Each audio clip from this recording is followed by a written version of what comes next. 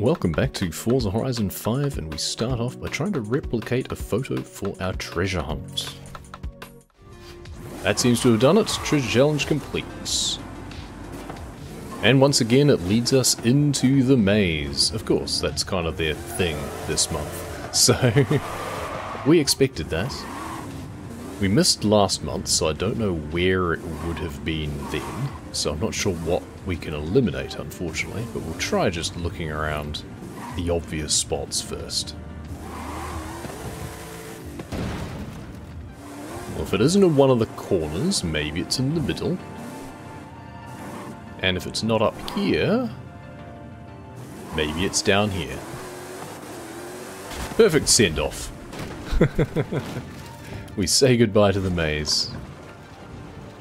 And speaking of goodbyes, it's also our last time to take a picture of our detective tank who is hanging out at the hotel this time.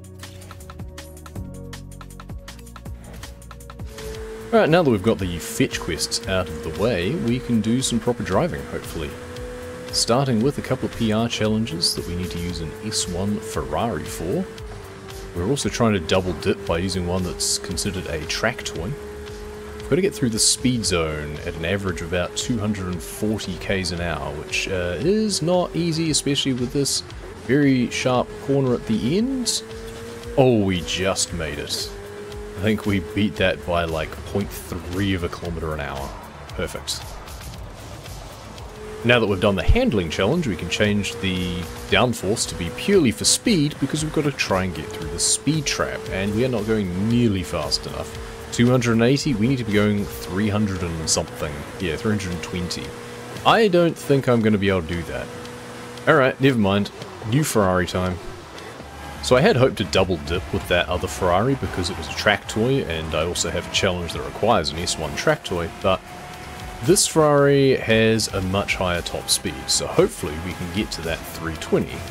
No, we can't, still. Okay, that's really annoying. Well, we can, but we need a lot more distance, it seems, than what they're giving me. Hmm. Is the runway a bait? Are we meant to actually approach it from this direction? Let's try that, shall we? Because we do have these little corners to negotiate here, but they're not really corners. Then we have a little bit of rough ground before the runway, but it's not really that significant. Certainly nothing to hit into. And we're already doing the 320 that we need and that will do nicely. So honestly, it might have been a bit of a blessing in disguise that we swapped away from the Ferrari track toy anyway, because I'm much more comfortable in my Aston Martin. So let's uh, hop into this. We've just got a sort of figure of eight track, it seems, just a very simple raceway. I'm not a fan of those sort of banked corner things. Oh no, there's a lot more to it. Okay, I, I was only looking at the first corner and extrapolating. That'll teach me to make assumptions. We've got a lot of these banked turns. Well, hopefully we can get in on the inside on some of these. Three laps of this? Uh, okay, fine. Not my funnest way of driving, that's for sure. I never know whether or not I should enter high, whether I should try and maintain a steady sort of angle around those corners, or, or what. I try and follow approximately what the other cars do, but I never seem to do it very well, so... oh, that one worked alright, but we've still got to catch up. But we've got two more laps to do it in seem to catch up with them through that first little straight area, and then... Oh well, there we go, we've managed to overhaul them on that corner. Now we've just got to stay ahead, that's going to be the tough thing with these corners, but I, I can no longer see what they do, because now they're behind me, so I've just got to try and do it well enough, I guess. I feel I want to stay reasonably low a lot of the time through the corners, but maybe that's not true. It's just I feel then I have more run out, but I guess then the angle is more extreme when I do so, so I probably want to stay in like the second lane and then just accelerate out and then let it just take me to the side.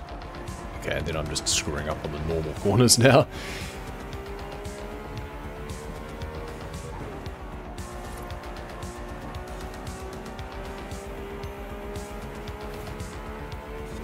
That seemed to work alright through that section. Then just through these sort of chicane areas, onto the next banked corner, go high, and then go into about, yeah, the second one, dip down and out. That went alright. Alright, that's acceptable. One more lap of that. Okay, I think we might be getting the hang of these now. I still don't like them, but... Or at least not failing miserably at it quite so much. I still don't like the track where it's just the oval, the Horizon Oval circuit, where it's just like five laps of just banked turns. I'm not a fan of that. I'm not a NASCAR driver. And up to the finish line, will it be my best lap? Maybe, if so only just. Uh, no it will not. Never mind, we still won. That's the main thing. And with that, we are halfway through the season at least. We get a Volvo C30P. Now I think it's time to go on to the weekly challenge, where we need to drive our Jaguar E-Type. Now the important thing to note is that there are a couple of E-Types. One is uh, the lightweight one from the 70s. The original is from the 60s. First thing we have to do with it is just take a photo of it. Once we've finished admiring it, we have to take it for a race, and win a road race. The Plaza Circuit wasn't far from where I was, so we'll start there. Let's pop inside, and see how bad this thing is to drive without any tuning, no change of tyres or anything like that. This is a C-Class vehicle. It probably has bottle tops for brakes, and bin liners for wheels, but we'll see how we can go. Everyone else should be in a similar situation at least. There is a dude with a Minecraft head. Alright.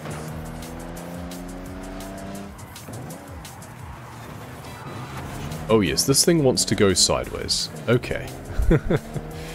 right. We're just going to have to work that in to how we drive. We're going to have to brake a lot more than I would like, I feel is always a bit tricky when I've just jumped out of a race-ready Aston Martin into something that is very much not that. We're fourth currently, so we're we're holding a reasonably high position, and we've got two more laps to be able to overhaul these guys. Now, must be said, I should have lowered the difficulty. You can do that with the weekly challenges. The rest of the challenges that you have to do for the season, or for the series. Those you have to do with highly skilled opponents. When it comes to the daily challenges, it's pretty much anything goes, so can make it easier on yourself by dropping the AI difficulty. But that might not be necessary. I also could have made it easier on myself by tuning this thing because Nothing says that I couldn't. It didn't have a particular category rating or anything. But sometimes then they make you spend money on it. Unfortunately, we are up against people who do have tuned cars. This guy has a rear splitter on the back, so clearly has some tuning. Presumably was like a D-class vehicle that has been tuned up into the C-class range. We're in a fairly low C class, it was like a 520 or something.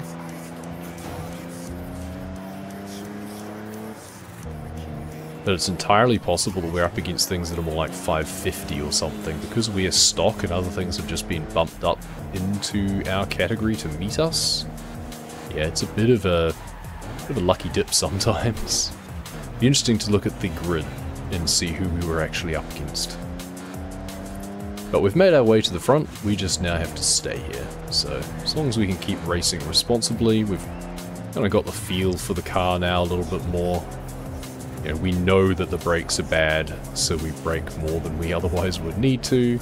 We know it's going to want to go sideways, so we just need to feather the throttle a bit more, just try and use that to our advantage a little bit here and there. And just do some sweet drifts. Why not? And down the home straight onto the final lap. Hopefully it'll be an uneventful one. It's very rude how they have that very sharp corner right off the straight though. After you've come downhill no less. Got a lot of momentum. And yet somehow I didn't lose my combo. It counted that as a drift tap. I'm sure I've hit walls lighter before and it's cancelled things, so... Interesting double standards there. And up to the final bend. I don't think we are going to have a best lap time at all, unfortunately, in 155. That's the other thing. I should have spent a little bit more time tuning it up just to make the lap go faster. Because that's over six minutes that we've spent just on one race. Now, somewhat annoyingly, our final challenge is not really a challenge as such. We just need to stay above 161 k's an hour for over a minute. This is going to be a bit tedious. Funnily enough, I've come to the motorway, because that's the only way that I'm going to be able to sustain that sort of speed for that length of time. I don't want to actually go too fast, I just want to stay just above what I need to, so let's just keep it in the 170s. I wish I had cruise control like in Truck Simulator, so I could just set it to like 170 and be done with it.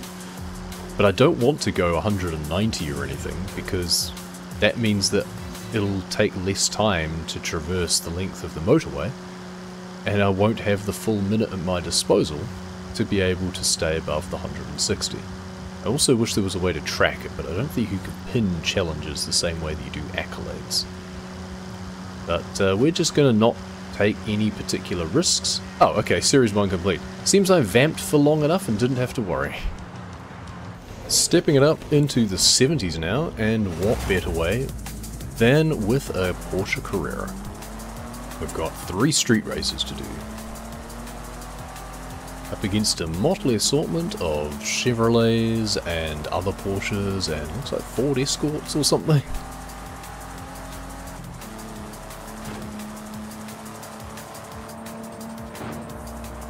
Let's hop on in the car since we don't need to worry about the sun glare in a street race because they're all in the evening. We do need to worry about traffic though, Exhibit A, and other cars trying to push us into the traffic.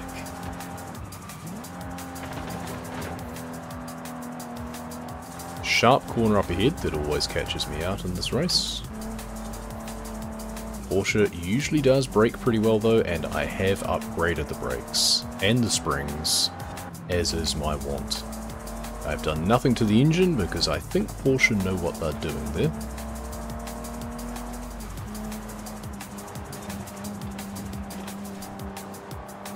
Slide on past into the lead.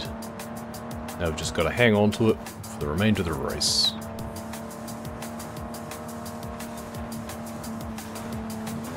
A little bit of off-road never hurt anyone.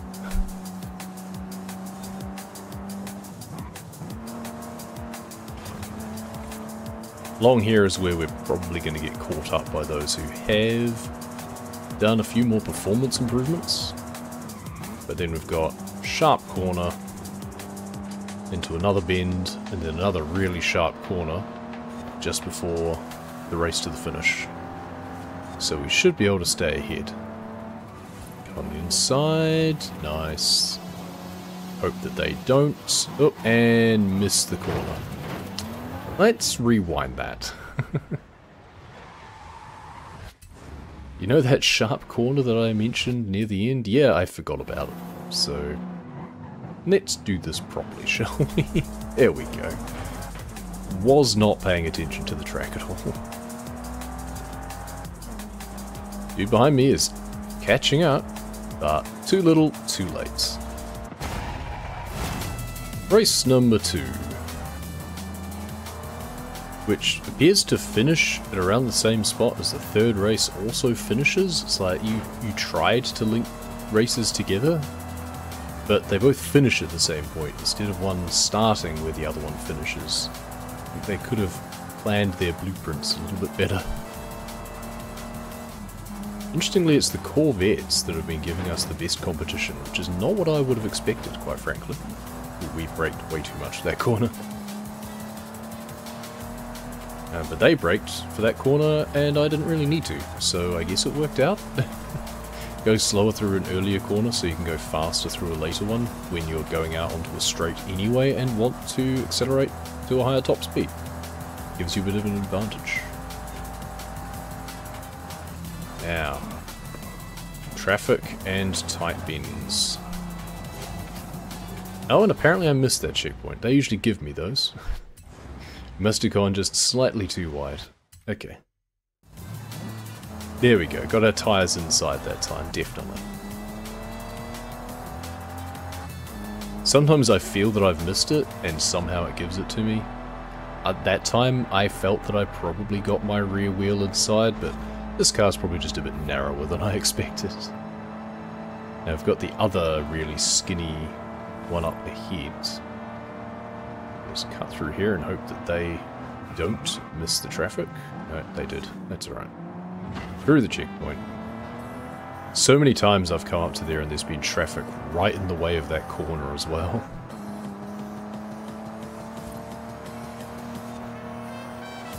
We barely missed that. I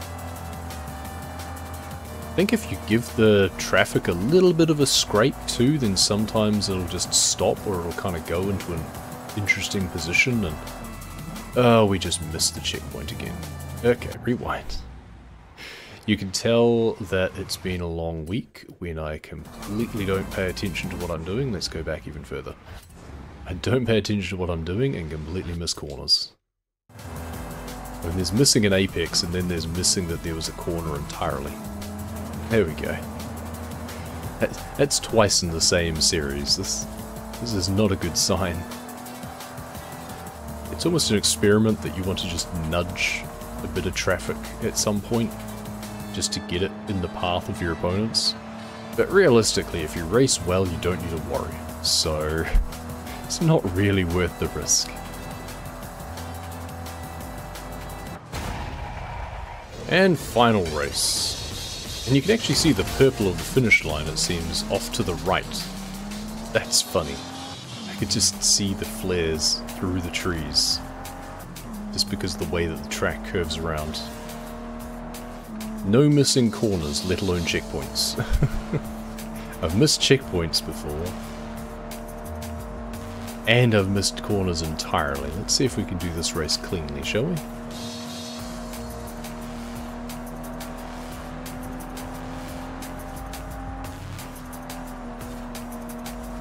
So long as we keep missing the traffic, that's the important thing.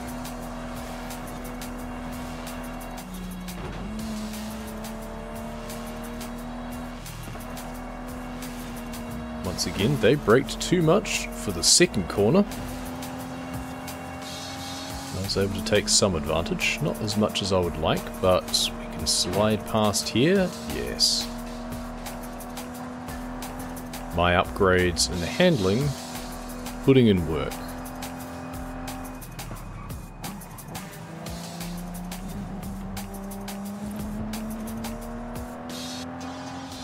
Now the twistier section through here. Just got to pay attention and hope that the traffic cooperates. A little bit of a scrape there. But hey, maybe that means that they'll be stopped in the path of all of our opponents now. Coming up to the roundabouts.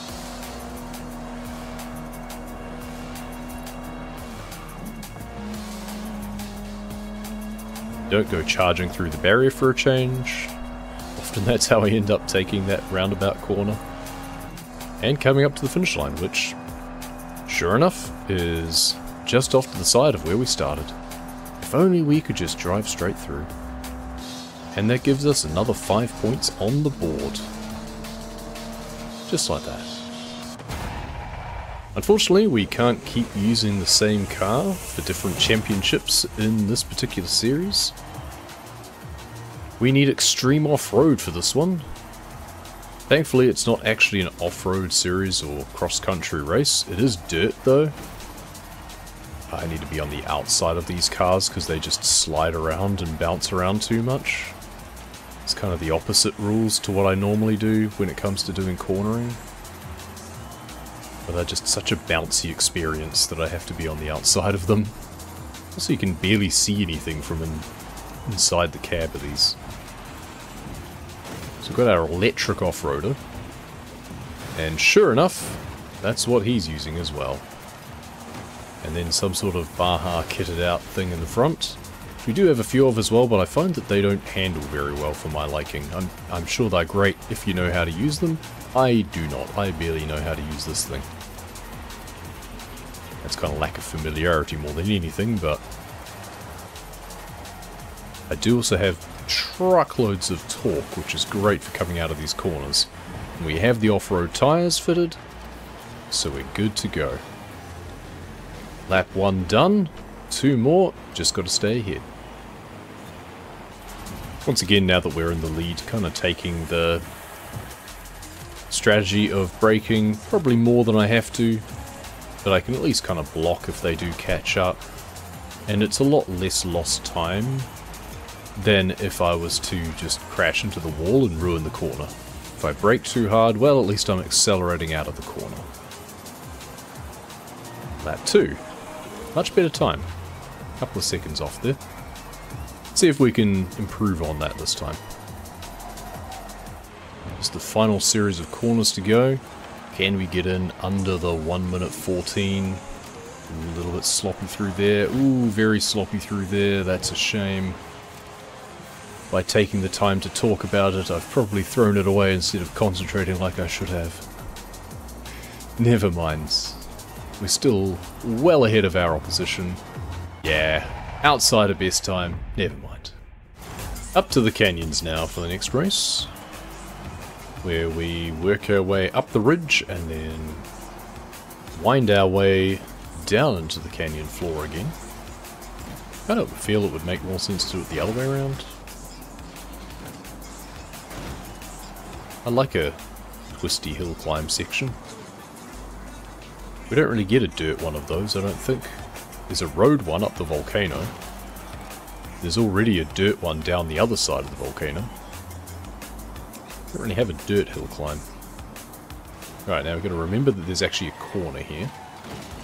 Well, he didn't.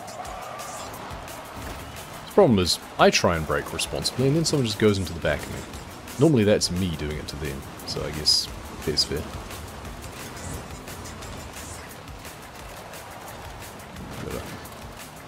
Play a bit rough on some of these corners, I think. Not many corners that we can cut, it's quite a skinny road. But we can lean on them a little bit for some help around the corners. Okay, we can take a bit of a straighter line through here than they do. It's always handy. Don't care about my combo, I'm just gonna slam into him to get around the corner faster.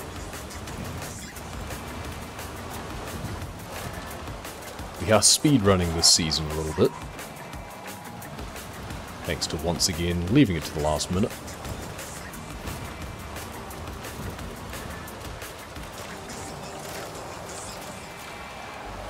And onto the road again for the final stretch. Because of course.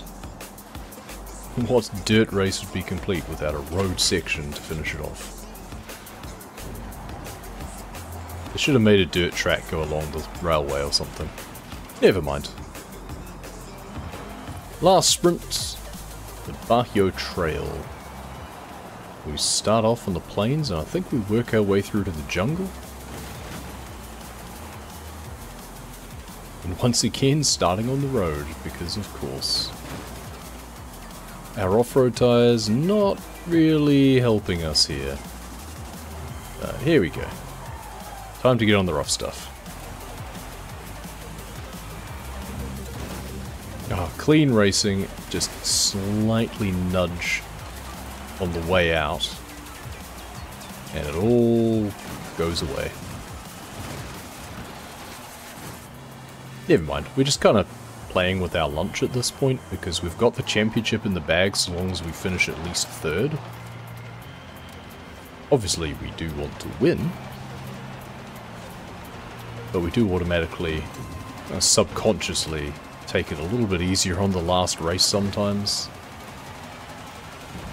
This track is also one that's usually given me a bit of trouble for some reason. I don't quite know why, I just didn't quite seem to gel with the corners obviously.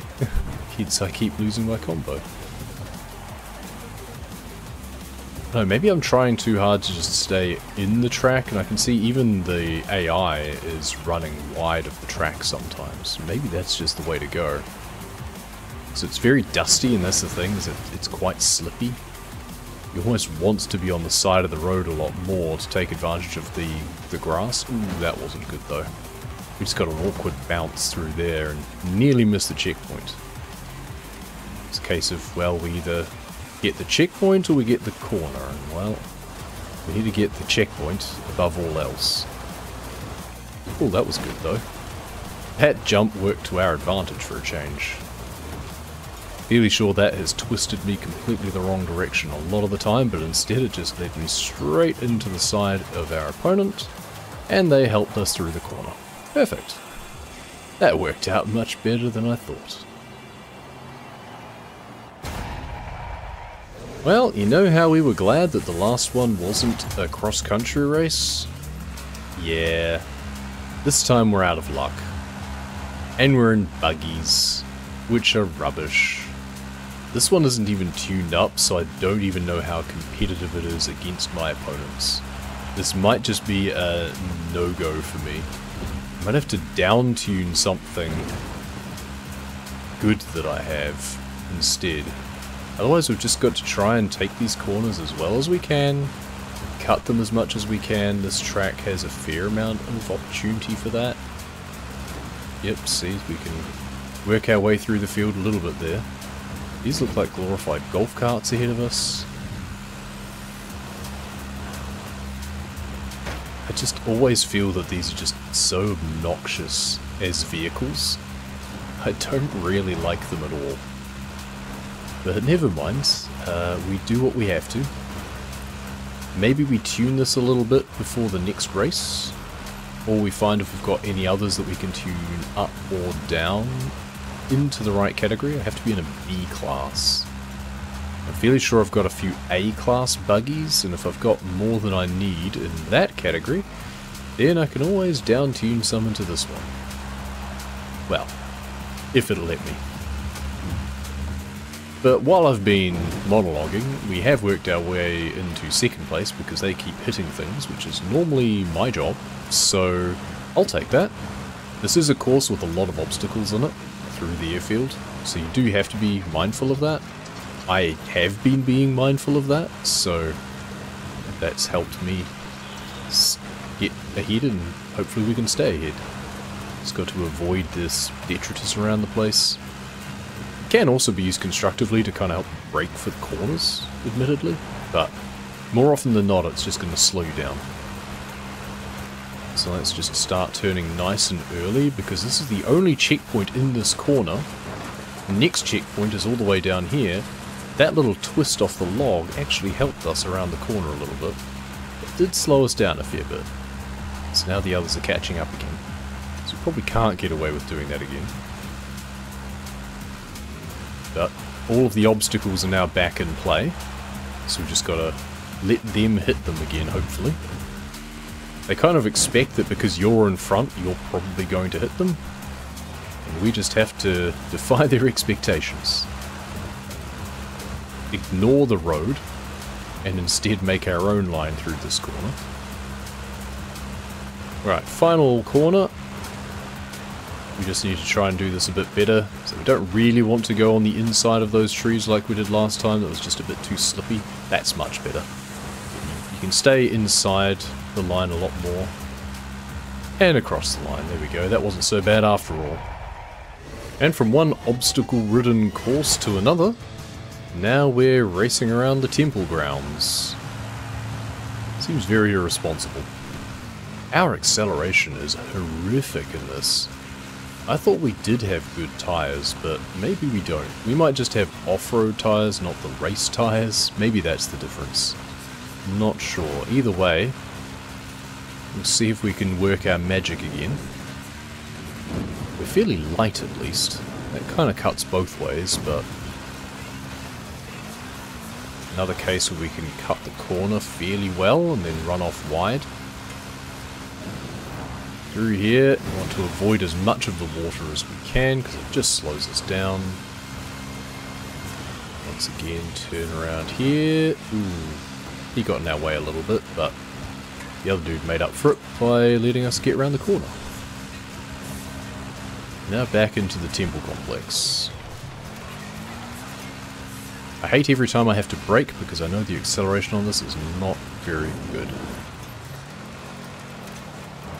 Oh, and it just slid and lost all of my speed. That's not good when I've still got three people ahead of me. Need to learn to feather the throttle a lot more on this vehicle. This we can let the hill do a lot of the work for us for the braking.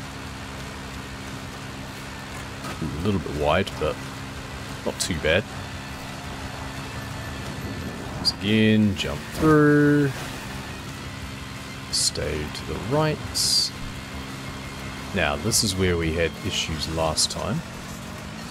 There we go, that's a bit better. Oh, still went quite wide, unfortunately, but yeah. Lost all our advantage by going far too wide there. Oh, and now this is the corner that I almost missed. Here's where we slid so much. It's because it's a much looser surface. We handled that one better. On to the final lap. One more ahead of us. Can we just chase him down? So far so good. Let's just stay here. As long as we don't forget about this corner this time. Ooh, that's a big slide. That's not good. That's not good at all. Just gotta keep it together for this bit. Alright, that's better just enough to stay ahead. And winning the circuit races is quite important because now we have a sprint race and I never do as well at those in the cross country, generally. You don't have the ability to gain the familiarity with them of going around a course three times, funnily enough. You've just got to take it as it comes. I don't like redoing races over and over again just to learn them. You got in my way very badly there. That's annoying. Still, we do have the presence of mind of only having to come third, which is just as well because we have so much flotsam ahead of us and two others have streaked off into the lead. So let's see what we can do to haul them in. This is this is a good line. Stay low intersect them a bit. Yep, there we go. I was hoping to actually use him to go around the corner, but didn't quite manage it. But we're right up next to our compatriot here. This is an awkward corner. Ooh, that's not good. I'm way offline. Yeah, never mind. We did well-ish. second might just have to do. And we race into the stadium. We'll be second, but that's fine. We've got enough points that we will still win the championship, and that is what really matters. And with that, the season is done. We can get our Abarth 695. Now, unfortunately, we've got less than four hours remaining. It's late at night. I'm not quite going to have time to get our Nissan Safari, because I missed an entire season because I was not home, so that was a bit difficult to accrue those points, funnily enough. But never mind, I'm not sure I care too much about Nissan Safari, I bet it'll come up somewhere in the rotation in future. So I already missed out on the Chaser and the two Jets, which are kind of the two that I wanted from the series, perfectly honest. But never mind. Up next, back to the 90s. Perfect. New badges, new clothing, a lot of neon I bet, new cars, and a new collectible. All that and more starting next week. Thank you very much for watching. We'll see you then.